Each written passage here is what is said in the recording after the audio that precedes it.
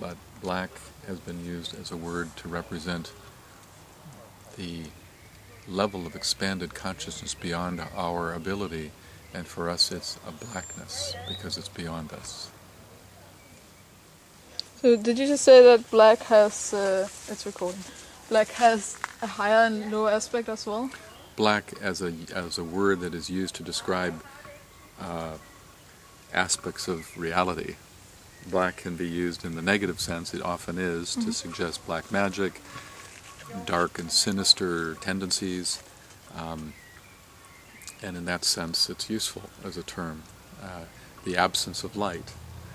Um, but black is a term that is sometimes used in some of the old, the occult literature to represent something so high that it's beyond our grasp, and therefore it's black. It's black because it's it's it's it's it's a it's a darkness that is just indicating uh, a degree of ignorance and a region of awareness yet to achieve. Nice. So it's like a veil in front of something behind it. A veil, a veil behind a higher, bigger, wider reality. And there's always a veil of that nature too. That's funny because I do have friends who say exactly that uh, black is very sacred, but I didn't know that it. I'm not even sure if they know that it's because it's like the gate in front of something else. hmm So it's not the black itself that's sacred, but it's what it's shielding.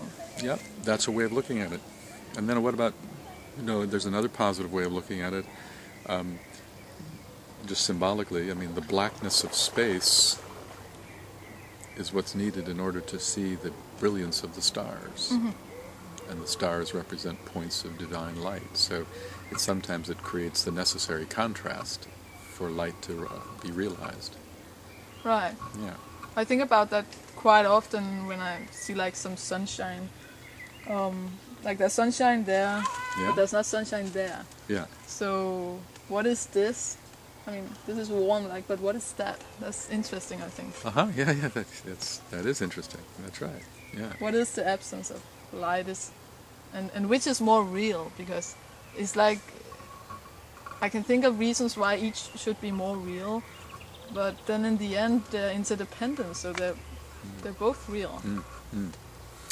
Well, you know, it's funny. The word light is interesting because, um, uh, in fact, uh, you know, I'm going to be doing this seminar tomorrow here in Copenhagen and uh, on Revelation. But really, it's a seminar about it's all about light. And one of the biggest concepts or principles is that um, it's all about the word light and revelation go hand in hand. Uh, we use the word light to suggest we for instance we say we would like to shed light on something it suggests that we're trying to bring awareness to something um, and um, one of the important concepts to keep in mind uh, uh, is that light is known by what it reveals. Light is known by what it reveals. So when you look at that leaf because light is reflecting off of it you see that leaf. So light is known by what it reveals. But that's true, that's just physical light that you're talking about, but that's true of every kind of light. What about the light of knowledge? What about the light of love? What about the light of purpose, the light of Right. devotion, the light of idealism? I can list a hundred types of light. All of them are revelatory in consciousness. And so that's why when I do this workshop on revelation, it's really a workshop about light. That's a great principle. Yeah, yeah. I'm gonna be thinking about how to apply that. Very practical also. I like I like when I get the principle and then I can apply it to real life. Mm, mm, absolutely. Yeah. Like the light of knowledge, that's kind of usually knowledge is related to the lower self, but it still holds light. You get a new piece of knowledge, it's now understood. There's light there. You now have an awareness that you didn't have before. Light is known by what it's what it reveals. And then it also reveals ignorance. yes, because it shows you what you don't know. It's the contrast again. That's right. Yeah.